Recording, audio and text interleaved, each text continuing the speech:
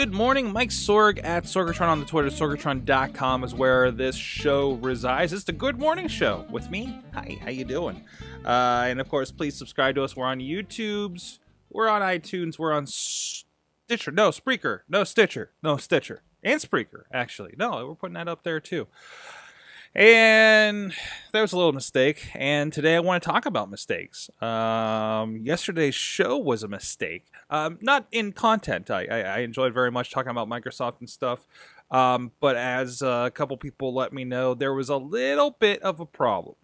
Uh, it seems that uh, when I decided to move the video and, and use this computer that I boot up and and and show stuff you know like like if you're on with us like i do here uh, and i'm showing some videos from the uh, microsoft conference and uh, i i i apparently left on um because it's typically the computer that we push all the audio from our google hangouts and i didn't think about that I'm also not wearing my headphones uh, in that video. If you if you see, um, I wanted I figured it's just me. It's not a big deal, and and that has been the case for several months as we've been doing uh, the show, and uh, it wasn't something that came across my mind when I decided to move this to video and started to throw some of the other elements in that we do on Tuesdays uh, for Wrestling Mayhem Show, our Awesome Cast, and the like.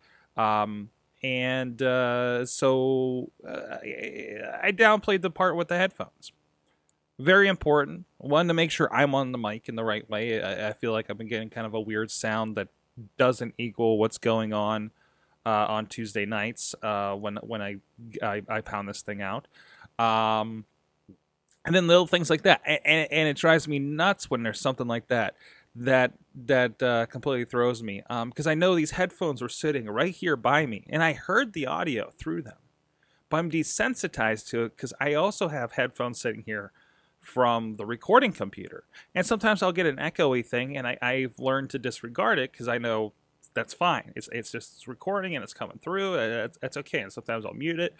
Um, so for whatever reason, it didn't dawn on me. Probably because I'm doing this, I'm switching, I'm, I'm, I'm trying to carry on a conversation at the same point, a very multitasking thing. I actually had somebody recently uh, sit in my chair and, and kind of do my job mid show um, uh, uh, back in December.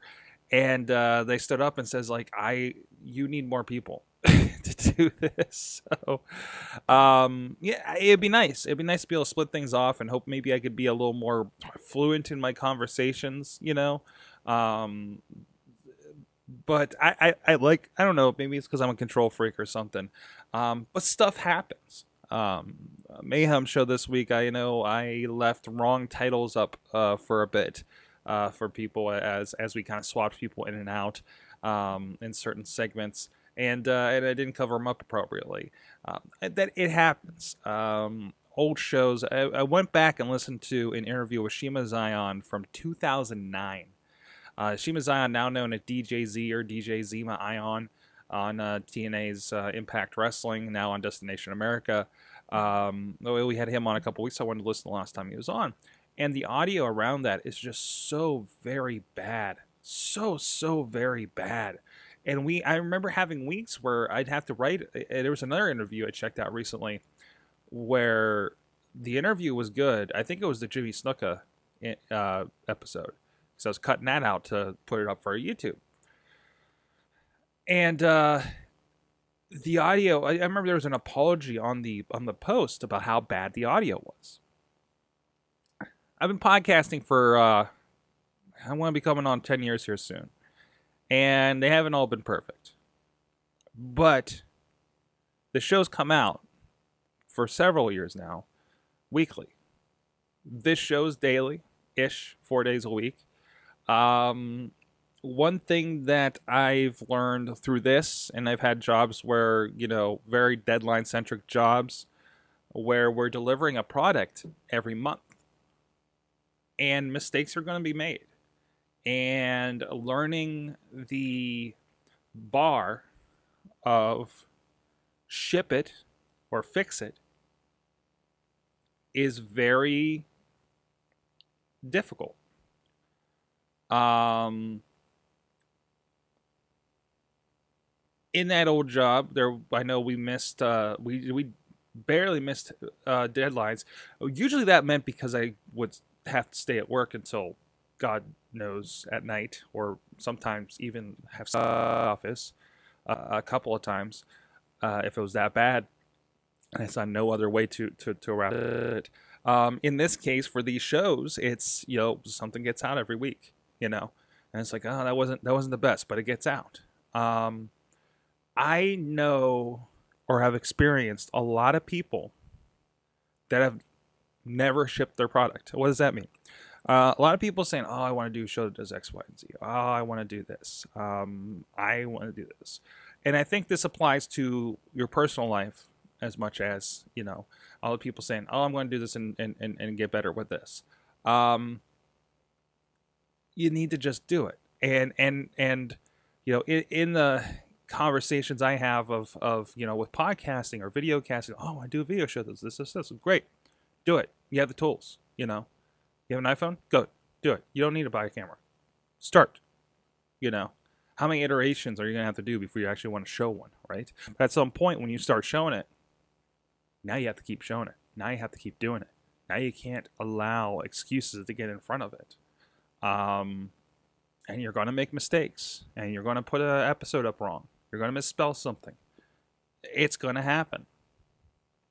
Especially if this is something that, like a you know, again, I'm centric on the podcast and social media idea, um, and, and video idea, but especially if you know, you know, you want to get it out there. If a lot of people keep making excuses for themselves and see a mistake and realize they're not perfect,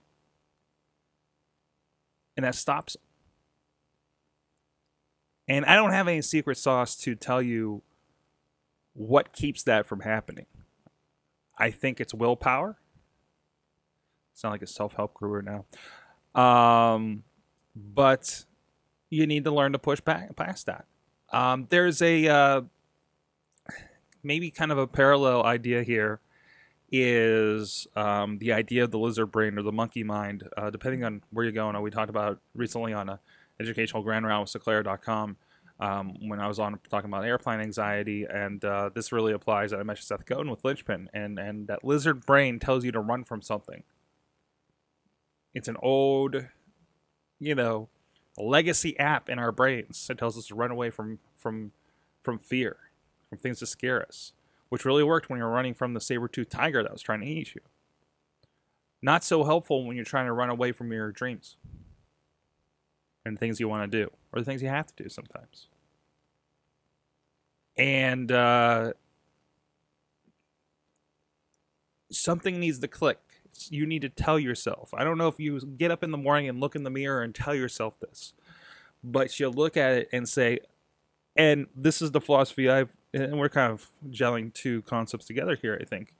But every time there's something I'm scared of, I have a couple things on my plate right now and this happens time to time. I'm independent. I, I don't know where the next check's coming from a lot of times. And uh, I'll come across a project and I wonder, can I do that? Do I have stuff to do that? Can I figure out how to do that? Am I good enough to do that? And I run towards it head first.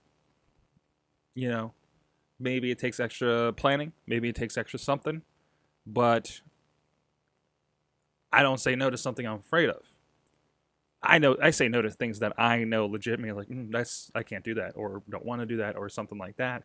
Um, but uh, well, you run towards it and you do it. And you only have mistakes. The big stuff, there were mistakes on the big stuff. That doesn't mean I'm not qualified to do the big stuff. That means I'll learn from it and then uh, maybe put extra work into it, still deliver a good product for my clients. But now I'm more confident when I find myself in that situation, whether it be uh, shooting a debate or streaming a live event or taking on another wrestling show, do another podcast for somebody important. You don't run away from it. You learn from it. All those people that you see in the position you want to be at didn't get there easily. And I think have made similar decisions about how they approach things. Well, that's my thoughts for the day. Good morning, iTunes, Stitcher Spreaker, YouTube, the new video show. So you can see this. You can see the seriousness in my eyes when we do this now, right? We have a connection, right? As I hit my mic, you see me hitting my mic. Um, Sorgatron.com is where the show's at. Please let me know. Jeez, I don't know. I don't know a question. I don't know a question. I don't know how do you deal with mistakes. You know, do you feel like they come uh, around a lot? We push back anything. Is there something big that you've taken on that you were scared professionally, personally? Let me know. See you guys next time at Sorgatron on Twitter. Have a good morning.